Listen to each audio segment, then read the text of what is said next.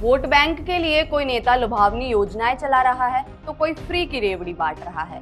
कोई जाति कार्ड से खेल रहा है तो कोई महिला कार्ड के ज़रिए खेल रहा है। लेकिन बड़ा सवाल यह है कि मध्य प्रदेश में होने वाले चुनाव में रेवड़ी बिकेगी या जाति कार्ड चलेगा, या फिर महिला कार्ड अपना जादू दिखा देगा? यहाँ हिंदुत्व की जड़ें कितनी गहरी है और कितनी कमज़ोर? आइए जानते हैं मध्य प्रदेश की सियासी गलियारों में क्या चल रहा है। मध्य प्रदेश विधानसभा चुनाव को लेकर सभी राजनीतिक दलों का प्रचार जोरों पर है। हालाँकि अभी तारीखों का ऐलान नहीं हुआ है, लेकिन वोटरों को लुभाने के लिए हर कोई तरह तरह की घोषणाएँ और दावे कर रहा है।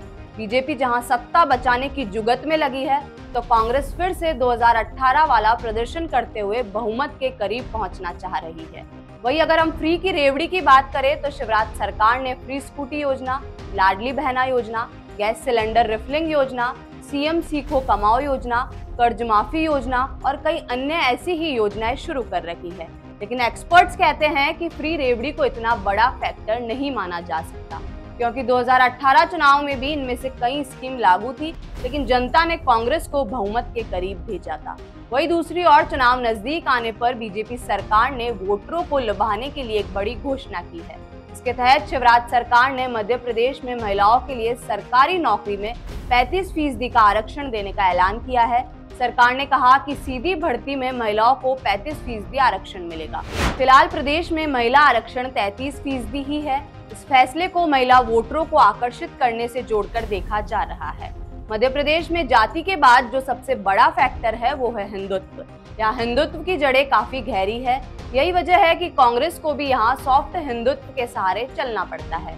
उसके नेता हिंदू धर्म से जुड़े कार्यक्रमों का आयोजन करते रहते हैं और उनमें शामिल भी होते हैं। यहाँ हिंदुत्व आज से नहीं, बल्कि काफ़ी पुराना है।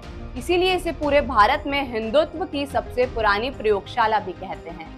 हिंदुत्व की सबसे पुरानी प्रयोगशाला कहने के पीछे दरअसल एक कारण है नागपुर से निकटता की वजह से मध्य प्रदेश में आरएसएस की पेट आज़ादी से पहले ही थी। आरएसएस और अन्य हिंदू संगठनों का प्रभाव पहले मालवा और फिर धीरे धीरे चंबल और मध्य प्रदेश के दूसरे हिस्सों में भी पड़ गया। तभी से इसे लेकर कहा जाने लगा कि मध्य प्रदेश हिंदुत्व की सबसे पुरानी प्रयोगशाला है। मध्य प्रदेश में विधानसभा चुनाव जीतने के लिए कांग्रेस के राहुल गांधी ने जहाँ कुछ दिन पहले ओबीसी कार्ड खेला था तो वहीं बीजेपी भी जाति के सहारे फिर से अपनी नैया पार लगाने में जुटी है। अब देखने लायक ये होगा कि आने वाले विधानसभा चुनाव में बीजेपी या कांग्रेस, दोनों में से किसकी नैया डूबेगी और किसकी पार लगेगी।